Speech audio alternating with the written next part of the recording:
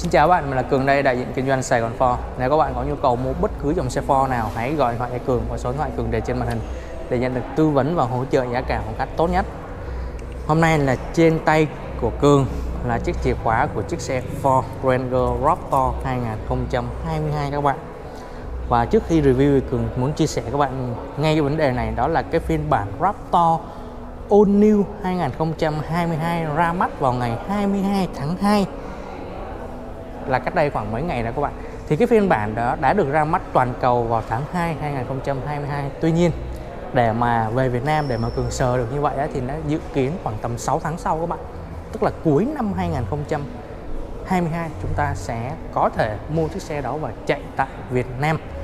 Và với cái phiên bản đó thì ờ, Cường có thể nói là thôi, cứ chờ đến về đến Việt Nam nha các bạn. Bởi vì còn rất là nhiều cái mâu thuẫn ở cái thị trường Việt Nam và cái thị trường quốc tế lắm. Rất nhiều nhiều cái mà cường nghĩ nó sẽ về Việt Nam, nó sẽ thay đổi đó. Nhưng mà cái đó thì mình chưa nói được trước điều gì hết. Cứ đợi nó về Việt Nam rồi chúng ta sẽ cùng trải nghiệm nó sẽ như thế nào.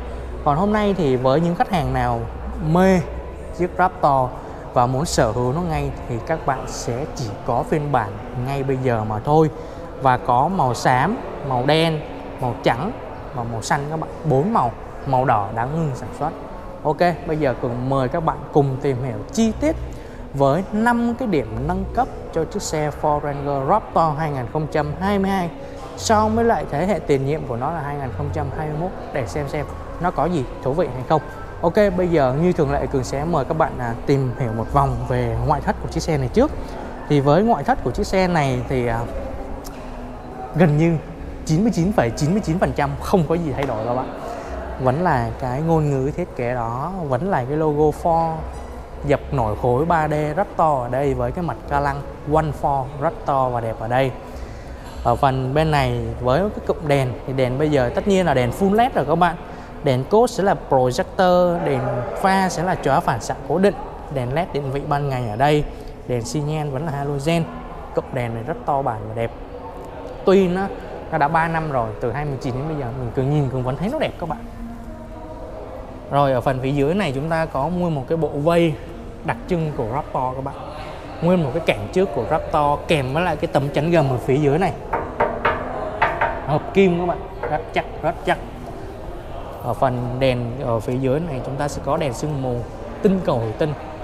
Và đèn sương mù này là đèn à nó là led đó các bạn, nhưng mà cái cường độ ánh sáng của nó thì nhà sản xuất tinh chỉnh, nó hơi ngả vàng một xíu với cái đèn sương mù này. Rất là hợp lý. Rồi, đó là về phần đầu xe. Ở phần đầu xe thì à, không có gì thay đổi các bạn.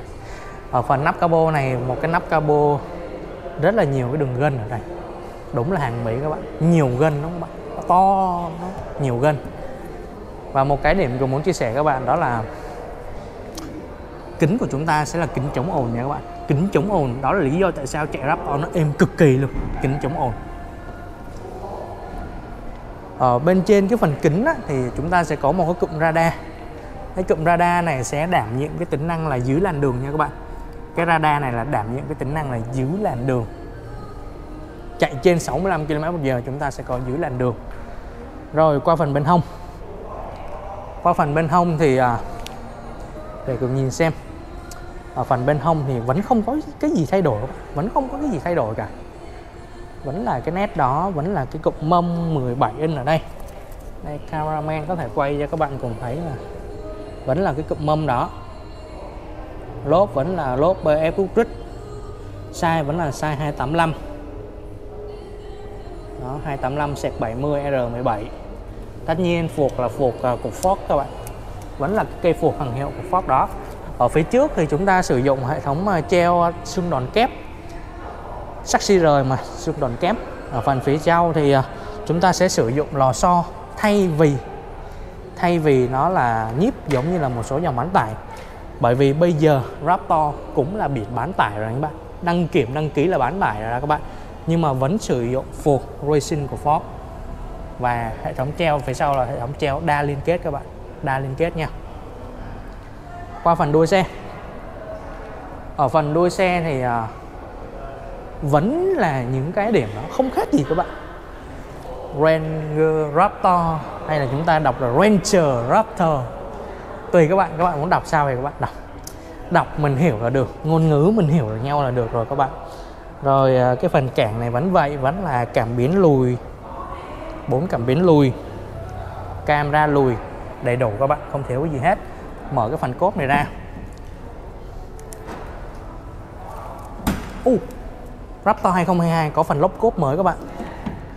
Trước đây không cần dùng chìa khóa các bạn vẫn có thể mở cốp này ra nha. Nhưng mà ví dụ như bây giờ cần lốc à, một cái mới nha các bạn. Trước đây không có. Trước đây mình phải độ thêm cái này á độ thêm cái tính năng là lốc cốp á tức là khóa xe là khóa luôn cái cốp trước đây thì không có nhưng mà bây giờ đã có luôn cả zin của chiếc xe mở ra thì à, vẫn có một cái cái, cái, cái cơ cấu này các bạn. Một cái cơ cấu. Đó một cái cơ cấu uh, trợ lực để giúp cho chiếc xe nó cái cốp này mở ra nó nhẹ nhàng hơn. Tuy nhiên là vẫn có người đội thêm một cái ti ở đây các bạn để nó nhẹ thật sự là nhẹ luôn. Bây giờ nó đã nhẹ rồi nhưng mà vẫn có nhiều người thích cái ti để cho nó nhẹ hơn nữa.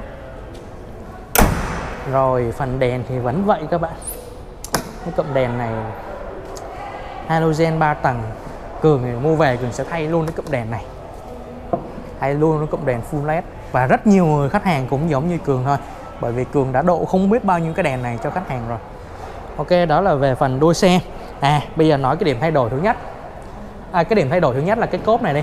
Một điểm thay đổi nha. Là có luôn cả cái phần lốp cốp cho cái phần là ở điểm thay đổi à, thứ nhất này. Ở điểm thay đổi thứ hai chúng ta có ở đây. Nếu có biển số biển số ở đây sẽ là biển số bán tải tức là biển C hoặc là biển D. Ví dụ 51D hay là 51C gì đó. Tức là biển bán tải, bây giờ chúng ta chỉ cần đóng thuế 6% biển số của chúng ta, biển số ở thành phố sẽ là 500 ngàn, ở tỉnh sẽ là 150 ngàn. Thay vì trước đây chúng ta phải mất cái phí trước bạ là 10% tại vì xe này xe nhập khẩu Thái Lan cho nên không được hưởng cái chương trình 50% thôi trước bạ. Thì bây giờ nếu mà tính nôm na thì chúng ta sẽ tiết kiệm được đâu đó hàng chục triệu đồng. Và tất nhiên, nó có niên hạn thì đối với anh em chơi Raptor thực sự mà nói á tôi nói chia sẻ thực sự luôn nha. Anh em không có cần mấy chục triệu đâu. Bởi vì lên cái tầm đó 1 tỷ 3 1 tỷ tư. Không lẽ giờ tiết kiệm hai, ba chục triệu, bốn, năm chục triệu để lấy cái biển xe xe bán tải? Không cần. Nhưng mà do cái này là nhà máy với lại cục đăng kiểm Việt Nam, mình không can thiệp vào được các bạn. Họ buộc phải như vậy thì bây giờ là biển bán tải. Chứ thực sự mà nói thì mấy chục triệu mà để đổi cái niên hạn 25 năm. Tất nhiên chạy không tới 25 năm đâu, nhưng mà đi cái biển xe con này nó vẫn uất hơn các bạn, vẫn uất hơn là biển bán tải. Thì cái đó là cũng là một cái niềm tự hào của những anh em chơi Raptor, nhưng mà bây giờ hết luôn rồi các bạn. Cái đó là cường cảm thấy hơi tiếc. Chứ thực sự mà nói bị cường biết tâm lý của anh em chơi Raptor, không có cần mấy chục triệu đó làm gì hết. Hết. Nhưng mà bây giờ buộc chúng ta phải chấp nhận. Rồi, hai cái điểm thay đổi. Lốp cốt và biển số, thuế. Bây giờ mời các bạn vô bên trong này nào đây các bạn có thể thấy cái phần khoang nội thất nhìn nhìn lướt một vòng á, thì các bạn thấy nó y chang như phiên bản cũ rồi các bạn. Y chang như phiên bản cũ không có gì à, à, khác biệt hay là thay đổi đó. Nhưng mà chi tiết vô các bạn sẽ thấy nè. Đầu tiên cái cường muốn nói đến cho các bạn khi mà mình cài dây an toàn cho cái hàng ghế đằng sau á thì ở bên trong này nó sẽ hiển thị lên là cái số người đã thắt dây an toàn nha. Đây nó hiển thị nó nó sẽ mất. Này mình gài lại nè. Đó các bạn thấy không? Hai hai vị trí thắt dây an toàn. Và với phiên bản 2022 này chúng ta có luôn cả cái việc là nhắc thắt dây an toàn cho cả năm ghế. Tức là hàng ghế thứ hai. Trước đây chỉ nhắc cho hàng ghế đằng trước thôi nhưng mà bây giờ có luôn cả cái hàng ghế thứ hai này luôn nha các bạn. Tức là đi Raptor bây giờ các bạn buộc phải là thắt dây an toàn hết. Còn nếu mà các bạn muốn chống đối á, thì mình phải mua mấy cái cái then này này mình cắm vô thì nó mới chống đối được.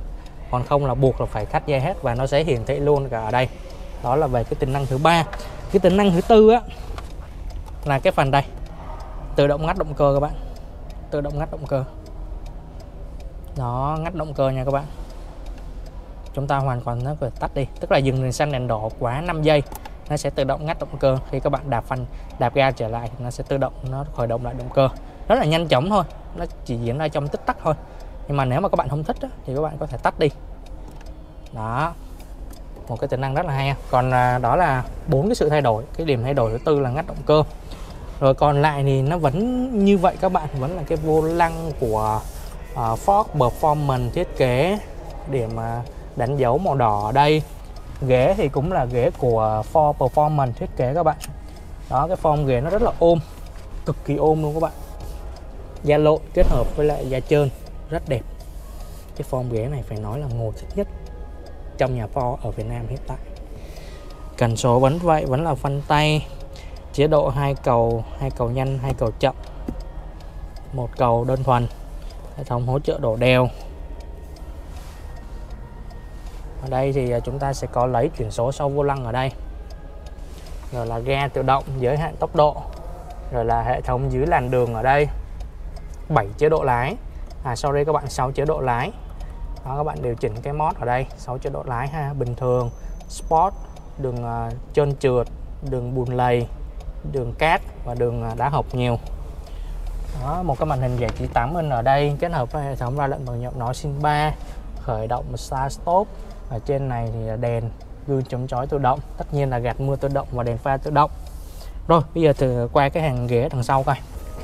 Với cái hàng ghế đằng sau này thì vẫn vậy thôi các bạn vẫn thế nó vẫn là cái phong cách đó vẫn không ngả được cái tựa lưng. Đó, ngồi thì cũng rất là êm và thoải mái thôi các bạn. Ngồi cả 5 người thậm chí ngồi ra cả ra cái hàng ghế giữa này nè. Thậm chí còn êm hơn cả hai bên bởi vì cái mút ở đằng đây nó dày hơn nói chung là con này ngồi 5 người ba người ngồi sau rất thoải mái. Đó có cái cổng 230V 150W ở đây. Cổng 12V cũng có luôn đầy đủ đó đây nè cổng sạc đây nè các bạn. Cái khoảng cách thì ờ, cũng rất là hợp lý.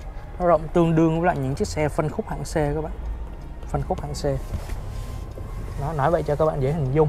Đèn đầy đủ tay nắm đầy đủ ở đây. Đó. Túi khí thì tất nhiên con này sau túi khí các bạn. Túi khí cũng rất là nhiều. Cùng mở cái nắp capo ra, cho các bạn thấy một điều. Nãy là 4 điểm thay đổi rồi không bạn? Điểm thay đổi thứ năm này điểm thay đổi thứ năm không thể thiếu nó đi kèm với lại cái combo là hệ thống tự động uh, ngắt động cơ khi dừng đèn xe đèn đỏ. Đó là hệ thống kiểm soát bên ắc quy. Bên ắc quy của chiếc xe này bây giờ có luôn cả cái hệ thống kiểm soát bình ắc quy nha các bạn.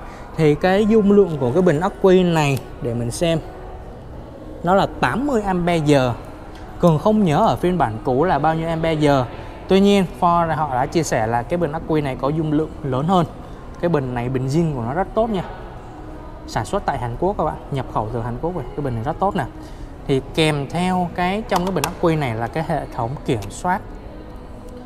Tức là các bạn hiểu nôm na này nếu mà các bạn vô những cái tình trạng giao thông mà nó thường xuyên là ngắt động cơ, khởi động lại, ngắt động cơ, khởi động lại, thì cái bình này nó sẽ rất là hao điện thì khi mà ECU nó nhận được cái tín hiệu nếu mà sử dụng nhiều quá, cái bình ắc quy này nó đến một cái ngưỡng nào đó, thì hệ thống ECU nó sẽ không cho cái tính năng này khởi, hoạt động nữa. Và lúc đó là nó sẽ cho nổ máy liên tục để cho cái bình ắc quy này nạp lại đầy, sau đó cái cái tính năng đó mới được sử dụng bình thường trở lại được. Tức là nếu mà các bạn sử dụng quá nhiều thì dừng đèn xanh đèn đỏ mà các bạn thấy nó không tự động ngắt động cơ nữa, thì các bạn hiểu là à nó đang cho nổ máy liên tục để sạc lại cái bình đó là cái điểm thay đổi thứ năm. Và điểm thay đổi thứ sáu đó là hệ thống khí thải. Khí thải của chiếc xe này đã được nâng từ Euro 4 lên Euro 5 các bạn. Euro 4 lên Euro 5 xài hàng Mỹ thì các bạn phải mặn mặn tay xíu. Đó, nó phải vậy các bạn. Quen với lại đồ Nhật, đồ Toyota thì đóng như vậy là hơi sót xe, nhưng mà Mỹ là phải nó mặn mặn xíu vậy thì nó mới khít các bạn. Đó là 6 điểm thay đổi à, để xem còn điểm thay đổi nào nữa không. Một cái điểm thay đổi thứ bảy nho nhỏ đó là màu đỏ ngưng sản xuất này. Màu đỏ ngưng sản xuất. Ok đó là 7 cái điểm thay đổi.